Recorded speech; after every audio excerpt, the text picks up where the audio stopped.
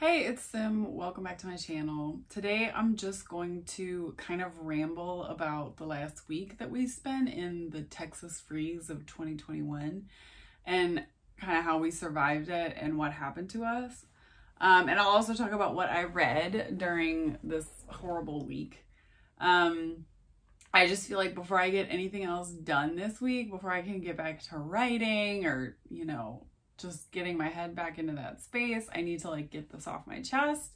And I figured some of you on YouTube might be interested in it. I mean, who isn't interested in a natural disaster story? Um, I obviously find them compelling. I wrote a book, Depart Depart, about my experiences during Hurricane Harvey. Um, and now we get to add another natural disaster trauma to the list of shit that happened to Houstonians in the last five years. Um, so I'm I'm not even sure if I'm going to edit this. You're probably going to hear chainsaws going in the backyard round because a neighbor is like cutting down a tree that died. Um so yeah. Uh I'll just do my best to be coherent. Um so I'll just go through, you know, the timeline of what happened. So basically, we knew that um, there was going to be a winter storm coming and my biggest concern was plants at first, which seems really silly in retrospect. Um, but I did a lot of preparation for the plants, which was good. I didn't have to stock up on food and water because we living in Houston, I always keep like a week's worth of drinking water and non-perishable food on hand because we have so many floods, chemical explosions, boil water notices, hurricanes, like you just I don't think it's safe to live here without that. So um and that was proven right again this week and I'm planning on getting more disaster preparedness stuff because there's the chainsaws. Moving away from Houston is just not an option for our family. We've got like too many family members here that we have to be around and my husband works for NASA at some point, NASA will have to leave Houston because Johnson Space Center is at sea level and sea levels are going to rise, and Johnson Space Center will be underwater. And I suppose at that point, we will finally relocate. Um, but until that happens, we're going to be Houstonians. So we need to prepare for the, the grid and society to fail at any given moment. So, like I said, Saturday night, Saturday morning, we knew that this storm was coming. We knew there was going to be like snow and a hard freeze. And like I said, I was worried about plants. So I'll put in pictures of like our plant preparations. We staked up, um, uh, first I had, we happen to have like five bags of oak leaf mulch, which just from the last time we blew our leaves, um, because we have an oak tree out back. So luckily we had five bags of oak leaf mulch and I think that that saved a lot of the plants.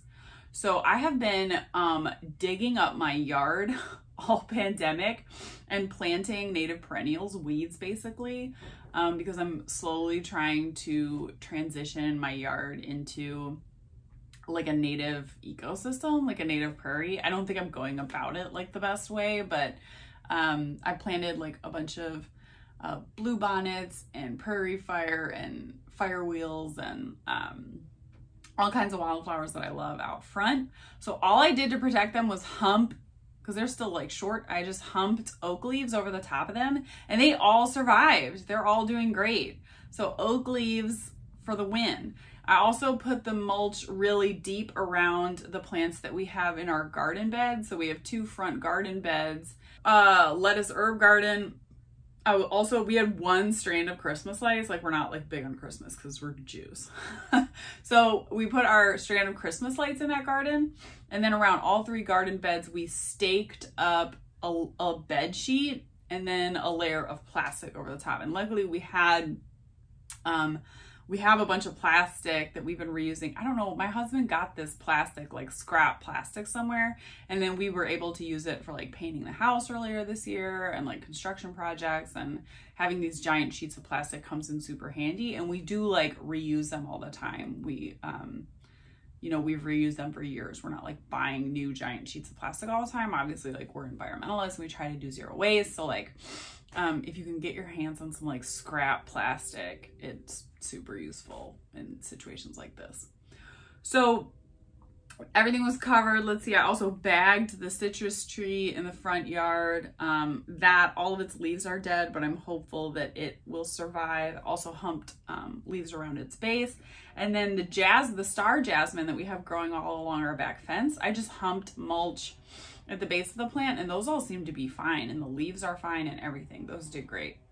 So the vegetable garden did the best. It, um, uh, all the leaves, everything survived except for the basil. The basil, basil's finicky about cold, and um, the everything that was like buried under oak leaves completely survived. But the two front garden beds with some of the big shrubs where we had staked up the bed sheets in plastic, about half the plants there died without the Christmas lights. So with Christmas lights, everything but the basil survived. Without the Christmas lights, um, we lost about 50% of the plants. So Plants are obviously the least of our, I don't know why I got so on about plants because those are obviously the least of our worries. But on Saturday night, that was the big worry. So Saturday we prepared and like staked down on the plants. Saturday night it froze. Sunday we woke up and I was like, let me get the plants a little sun. So I kind of unstaked all the plants, let them get a little sun. And then we knew Sunday night was the night it was going to snow um, or ice or sleet. We didn't know kind of what yet. So Sunday night, we restaked all the plants. It started coming down as, um, you know, first it was raining and then we started to get sleet. Um, and I could not sleep that night because I'm a Chicago kid and I loved snow. Winter was always my favorite, you know, time of year. So my niece and I, who's 14, like we stayed up until midnight. Um, and just kind of watching the rain turn into ice and being like, is it snow yet? Is it snow? And we started kind of seeing the ice accumulate.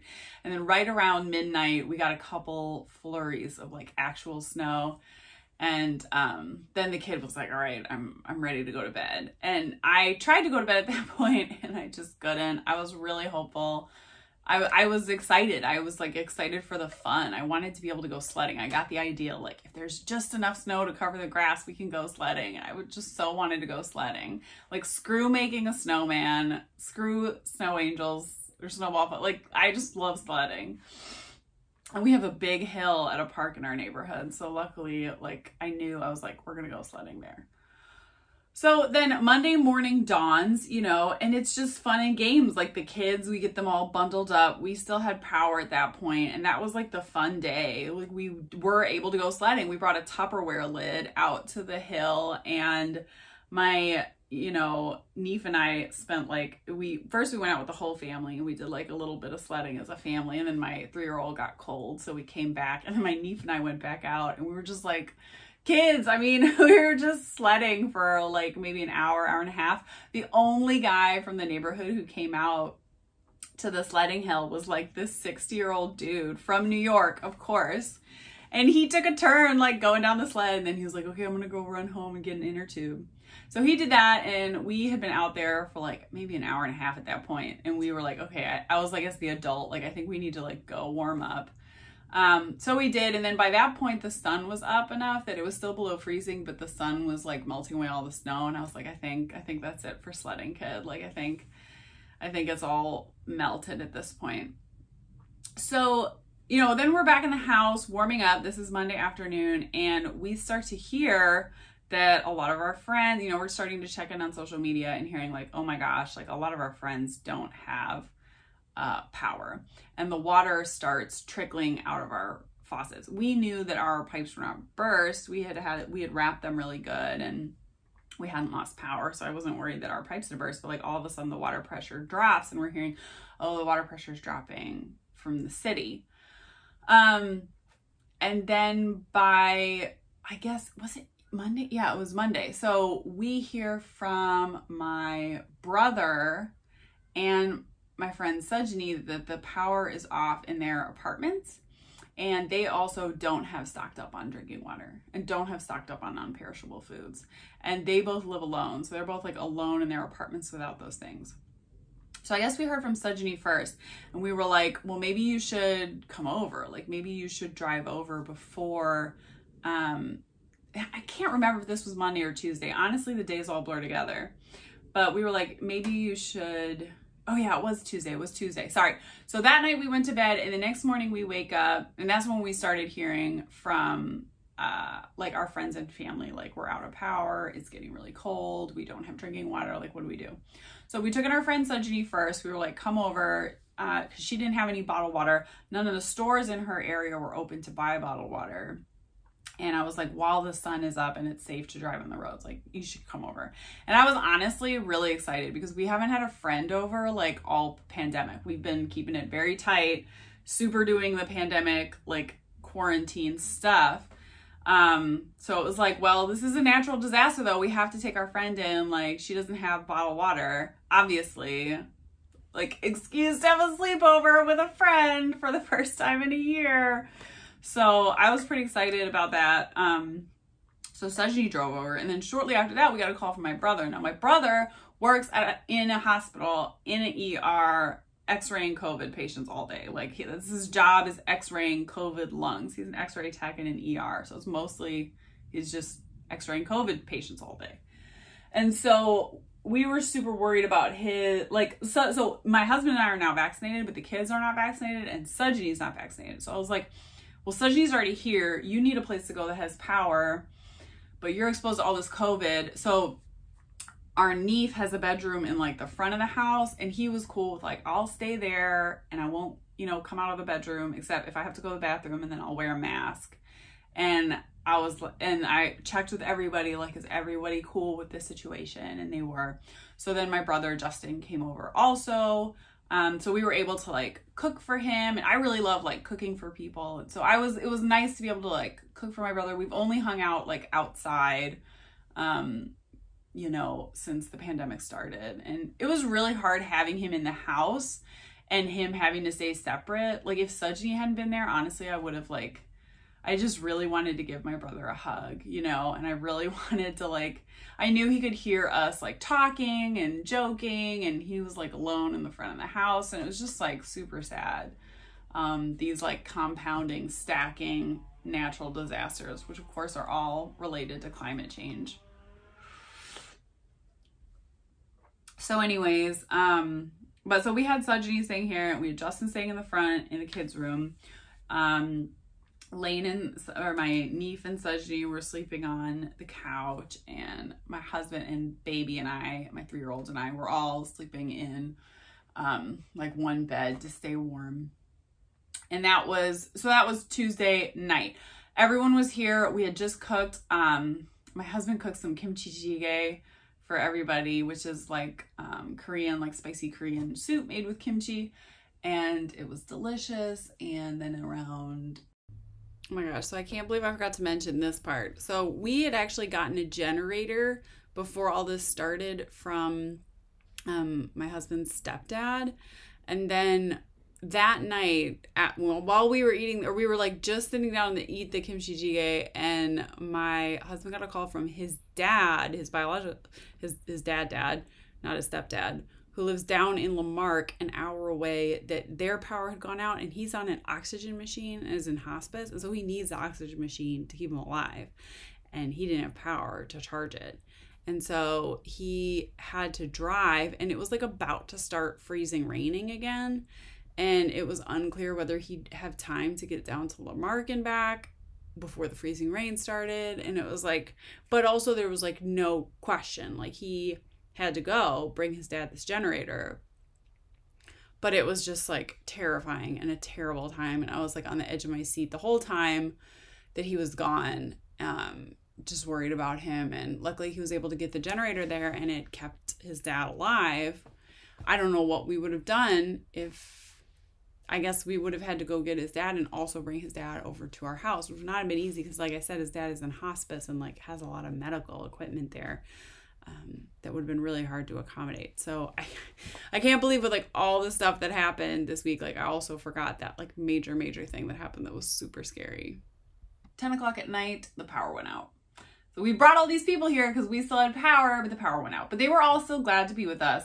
So immediately I like pulled out. I don't know why I thought it wasn't going to happen to us. I just thought, you know, I don't know, we're here in East End, we're near the chemical refineries and the power plants. And I thought maybe this is the one good thing about living near so much petrochemical industry is we won't lose power, but we sure did.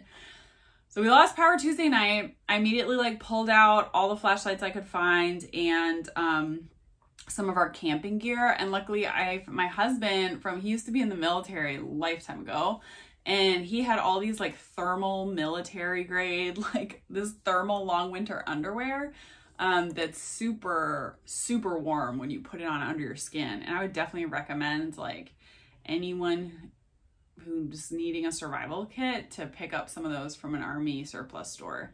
So um yeah you put them like underneath long pajamas and they they really help keep you warm. And he had enough pairs in there for everybody to wear one except for the three year old so we all got thermal underwear on and, you know, went to bed, piled on the blankets and sleeping bags. Um, we got a little bit of power back for a few hours overnight, so it wasn't too cold by morning. But then Wednesday was the day we didn't have any power. And it got real cold. you know, it got to where our breath was fogging up in the house and we didn't know when power was going to come back on. And at this point, we were in touch with our friends from all over the city, all over the state and we had heard like a lot of people were without power. But then the really scary thing that happened on Wednesday was like mid morning, we lost even cell reception. So no one could get any messages out on our phones. We couldn't even text anyone to see if they were okay. We were just like alone in our house wondering if the if and when the power was going to go on, wondering if and when the pipes are going to freeze. Um, we knew at this point that the whole city was under a boil water notice, and so we weren't using any water from the faucets to drink. Um, and it was just, you know, we were trying to keep it fun for the kids. I set up a tent. Um, my actually my old literary agent had sent me the suggestion of setting up a tent inside the house. I set up a tent in our bedroom behind me here with an air mattress in it, and we would like pile in there with the two dogs because Sajni has a dog too you know, with three people in there and two dogs hanging out in there for like about an hour, it got to be about 15 degrees warmer probably inside the tent than in the rest of the house. So we would kind of take turns inside the tent. Um, another reason that day got so dark was like my daughter had been eating junk food for four days because of, you know, everything going on. Even though we had had power, we'd been kind of eating more junk food than usual and more snacks than usual because of just feeling overwhelmed by everything and all the preparations and everything. We hadn't cooked too much like good food. We hadn't really been paying attention to what she was eating and she was eating a lot of junk food. So she got super constipated. Like the worst constipation she's ever had. And she was like sitting on her potty for hours, like crying about the poop won't come out. And I was just like sitting there with her, like holding her hand, like, baby, it's gonna be okay. And like made her, you know, some Miralax and apple juice. like that's not going to work for a week or two. Like, what are we going to do? Um, you know, and finally, after just hours, she finally pooped, but she was like screaming and crying all day long. So we were cold. I was like wrapping a blanket around her and the potty to try to keep her warm. We had no means of communicating with anyone else. And here my like baby girl was like suffering so much physically. Um it was a really bad time. And so then that finally, you know, uh, it was like getting dark. So it was like 4:30 p.m. And my husband is a ham radio enthusiast, so he had his ham radio out, and there was a press press conference with Lina Hidalgo, and so that was sort of the first news that we'd been able to get all day. And she came out and said, like, you know, at this point, this isn't just an emergency. This is a disaster and started talking about the people who had frozen and the people who had died of carbon monoxide poisoning. And I just started crying because I was like, I don't know how any of my friends are doing. I'm so worried about everyone in my city. I'm so worried about everyone in my state. Um, it was just a really scary time. Um, and definitely didn't foresee this event being as serious as like a hurricane, but it for sure was. Um, and luckily though, so then like my husband, my brother went to bed um late Wednesday night and then but me and Sajni and Lane, my niece stayed up talking. Um And around like 10, 10 30 p.m., the power came back on. And we all just like hugged and cried. And we're like, oh my God, it's back. And um, hopped on Zoom. We have a weekly Zoom trivia thing that I do with some of my one of my friends who moved to Maine. We've been doing it all pandemic. So we like hopped on the Zoom and we're like, oh my God, like other people. And we were like checking our phones and checking in with everybody because we find we got cell reception again as well and we got Wi-Fi back. Um and like I remember feeling like feverish almost like as the heat in the house came up like all my skin got tingly and like from I hadn't realized how cold I had gotten um that day. Just we were without power for about 36 hours which was way less than some people. I have friends who were without power for like 3 5 days um with you know below freezing temperatures most of the time or no, we had lost, well, yeah, I don't know when we lost it. I think we lost it for about 36 hours. We lost it earlier the night before, I think, like more around dinner, right after dinner time. So it came back on late and we were like making food, like microwave food, like just to be able to eat hot food really quick and stuff. Thursday was my birthday. We had power back, but we still didn't have water. And I was like, all I want for my birthday is to shower. I hadn't showered, I think, since Saturday. and it was Thursday. We were all discussing because we lost water pressure like pretty early on. And the city was begging us, like, don't use your water. Don't, you know, please, we need it for the fire hoses. So we had been respecting that, and no one had bathed in like five days. so we smelled so bad. Oh my God. And I had also started my period. Like, it was like, it was, I was nasty. So my husband and everybody else was like, uh, you definitely for your birthday can take a shower. like, I think it's okay. We will all not use water all day, so you can take a shower. Um, so I got to take a shower on Thursday and that was pretty glorious and I felt a lot better after that. My husband gave me a set of, um, we've been rewatching The Next Generation uh, with my niece because they obviously never saw it before and um, we all love Picard, you know. And so my husband got me a set, and I also am a big tea drinker. Mm. I should have put my tea in one for this video, but my husband got me a set of like Picard's teacups from the next generation. And they're like vintage. It's a great gift because I hate newly manufactured things, the whole like zero waste environmentalist. So but it's vintage. These were like used teacups from the 90s. They were like a 90s, you know, Star Trek set of cups. And um, with a friend, they come with a French press. So they were not newly manufactured. They were like a vintage thing. It was like super up my alley. They're like actually really cute. And I swear that tea and coffee like taste better out of these cups. Um, so I just, I'm going to have to be careful that the three year old doesn't break them because she's like a super super breaker of plates and cups and cutlery and things. So I think we're only going to break them out for like special occasions. Um, so yeah, I ended up having like a pretty good birthday. I think that day my husband was like felt safe to go out and get supplies. So he went out and got some more food and drinking water and um, like little cupcakes for me for my birthday because we didn't we didn't feel like it was okay to use the oven. They were still saying to conserve power at that point. So we didn't we didn't I vetoed the idea of baking me a cake.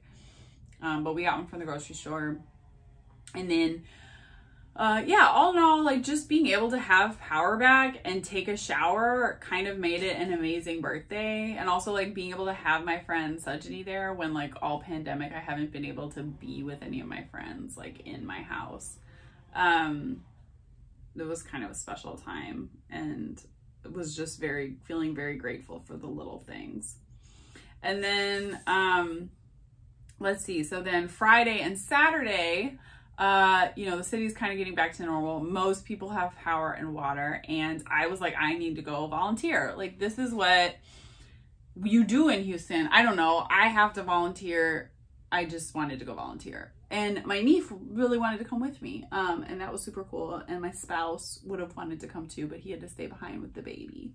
So we went, um, there was a food and water drive on Friday at in second ward um, through say her name texas and so we i was able to raise like or like $700 that day on twitter for supplies for that food drive So thanks to all of you on Twitter who donated. It was amazing. And then the second day, Saturday, there was a joint food drive with DSA and Say Her Name and um, at, uh, at an apartment complex in Kashmere Gardens. So we kind of did the same thing. Went shopping, got donations on Twitter, went shopping, got a bunch of supplies, and like stayed and volunteered at the food drive.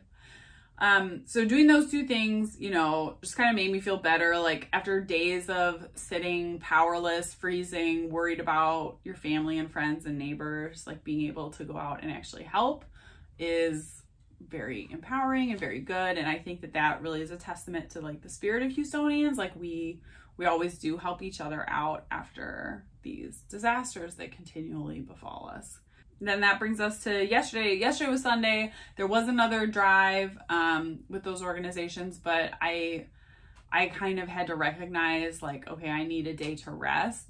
My husband is on console at Mission Control for the next seven days. So he's working like 10, 12 hours a day going into NASA, not like being at home, not like being able to work from home.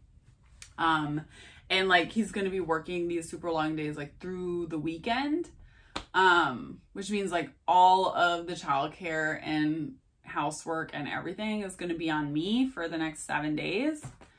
So I was just like, you know what? I need to rest on Sunday. So yesterday I just kind of let myself, what did I even do?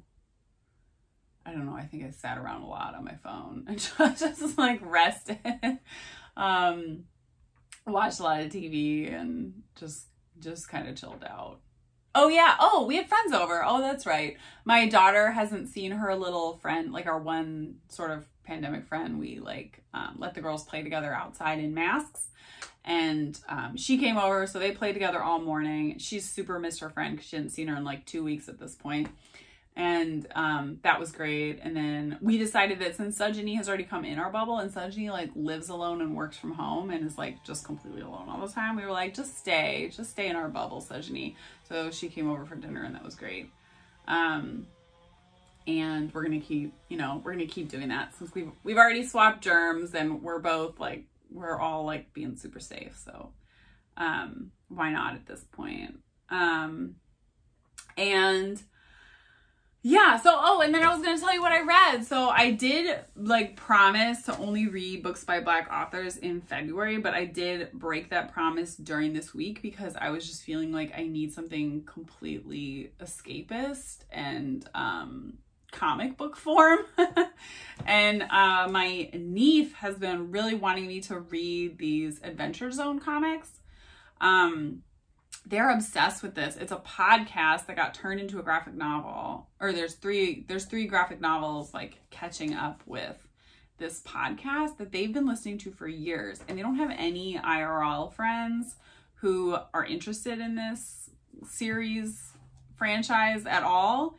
And um I just think it's really great. If you have kids, like it's such an easy tip to like have a good relationship with your kids is to get into whatever they're into. Like it doesn't matter. My three year old is into True in the Magic Kingdom, which is like, or True and the Rainbow Kingdom.